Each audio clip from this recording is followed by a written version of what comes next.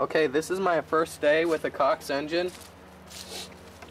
I read up on the internet about it and I figured out how to make it run. Fill it up with fuel.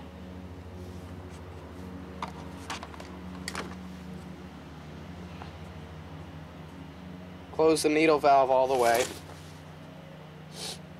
Open at three and a half turns.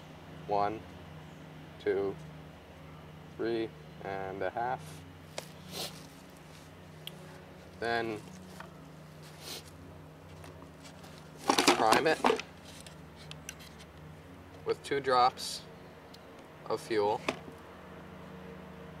One, two.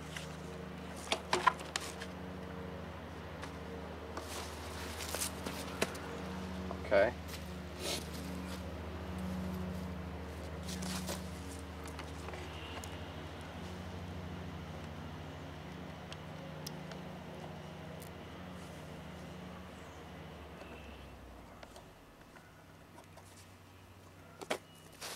Wind it up, one turn,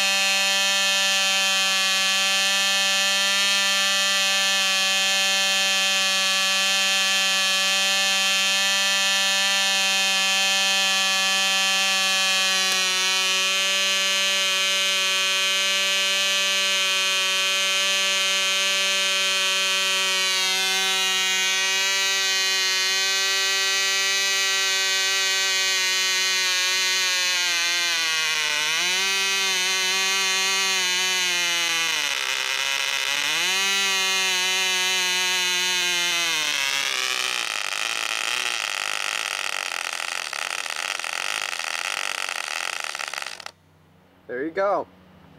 Cox engine. It's uh, a .049.